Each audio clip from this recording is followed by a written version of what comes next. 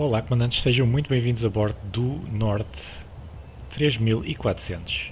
Mais um avião Norte bem parecido com o que nós trouxemos aqui a semana passada, que era o 3202, só que este tem uma função um bocadinho diferente. Eh, é um avião também feito nos anos 50 e 60. Foram produzidas uh, cerca de 150 unidades, só que este aqui não é um avião de instrução, isto é um avião de observação. De, também usado praticamente só pela Força Aérea Francesa. Este modelo também da Restaurávia, muito, mas muito bem feito por fora. Muito bem feito. Eu gosto muito da, da estética. Eu acho que foi um ótimo trabalho deles. Isto é uma equipa francesa, o avião também é francês. Uh, e ele faz-me lembrar um bocado uma mistura entre um Piper Cup, eu diria que é para aí 70% Piper Cup e, e o resto 30% Auster Autocrat. Auster Autocrat que também há um, há um modelo 5 estrelas para Flight Simulator X. Se vocês não conhecem, uh, vão aí à minha lista de reprodução e vejam. Tem lá o modelo e depois tem lá o link também para vocês fazerem uh, o download. Vamos fechar então aqui as portas. Shift E fecha a porta. Vamos aqui para dentro. Nós desta vez vamos ficar com o assento da frente.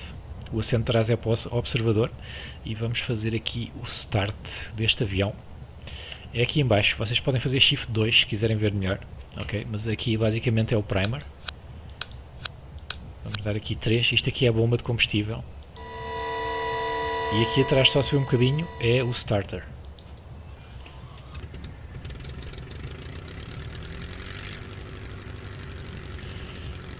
Ora, aí está.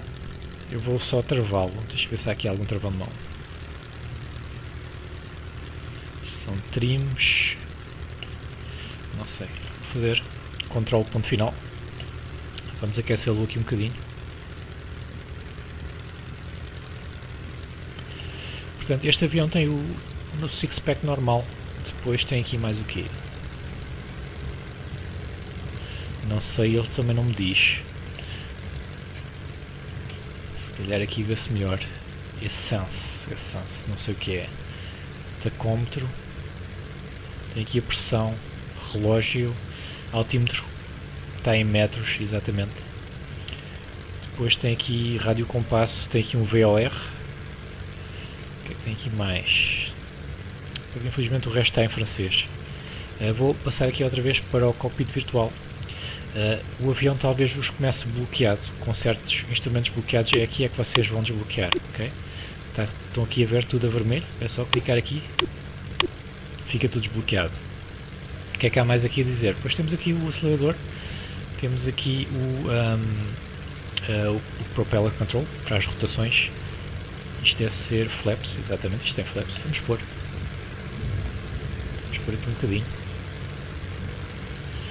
deve ser preciso muito. Uh, mais uma vez, eu não encontro a mistura. Não sei onde é que está, portanto eu usei mais uma vez os atalhos. E vamos a isso, vamos levantar voo. Este tem aqui uma vista muito mais desobstruída, já que estamos aqui no, no centro da frente. Vamos a isso, levantar voo aqui no nosso, com o nosso motor da Potes. Eu gosto do barulho também. Agora é que reparei que temos ali em cima um uh, uh, termómetro.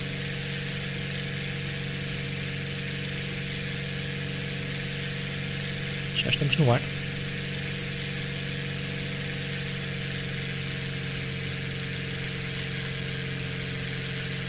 Tiver aqui algumas rotações, ficarmos ali no verde.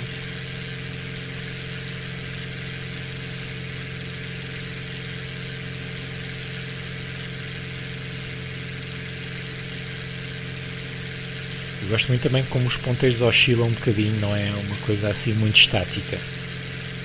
Eles abanam um bocadinho, isso é bastante realista. Também dá para ver ali o nosso joystick a mexer. E até os pedais, muito bom. Bem, vamos tirar aqui os flaps.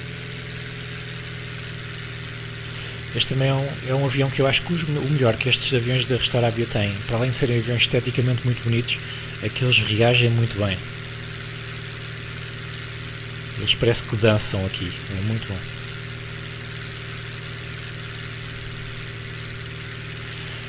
Ok, assim, em termos de informações sobre o avião, para além do que eu já vos disse, eu não consegui encontrar assim muita coisa. Pelo menos em inglês. Talvez haja mais informação em francês, mas pronto, foram feitas cerca de 150 unidades, como já disse, uh, e foram apenas feitas entre os anos de 1959 e 1961. Eu vou fazer então só aqui um circuito sim.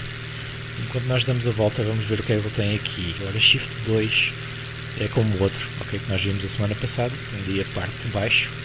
Shift 3 tem aceleradores, Shift 4 tem os streams, Shift 5 tem, isto acho que é a travão de mão. Parking Brake, exatamente. Uh, este aqui tem um GPS, que era o que o outro não tinha, no Shift 6, e é tudo. É tudo. E é um bom avião de observação, porque vocês realmente têm aqui uma excelente vista panorâmica, se vocês tiverem daqueles cenários XPTO. Então este, este é o avião que vocês que vão querer lá. A velocidade máxima deste avião acho que era 240 km, ou por volta disso, portanto não é um avião assim tão lento. Nós agora vamos a 105 nós e eu vou com, com o acelerador para aí a 50%. Portanto podíamos ir ainda bem mais depressa.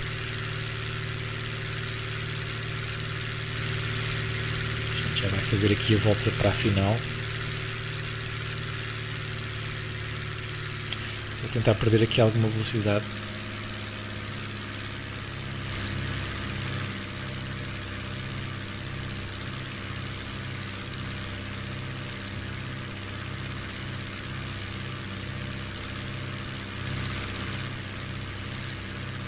É um avião fácil de voar, reage muito bem, é um avião que aceita também os vossos erros, apesar de não ser um avião de instrução.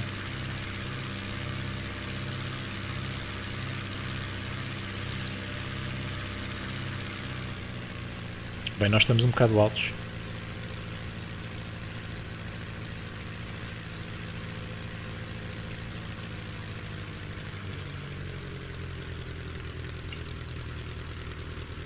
Vamos lá isso. Tenho que alinhar agora aqui. Flaps.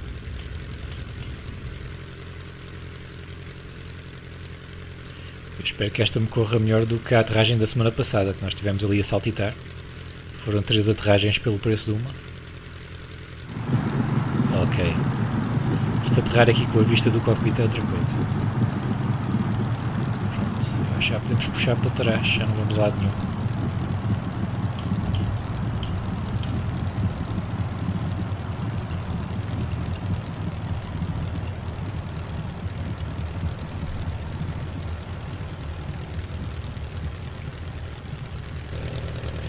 Cá estamos nós. Este avião tem três ou quatro cores diferentes, umas cinzentas, outras amarelas, uh, como o avião da semana passada, aliás.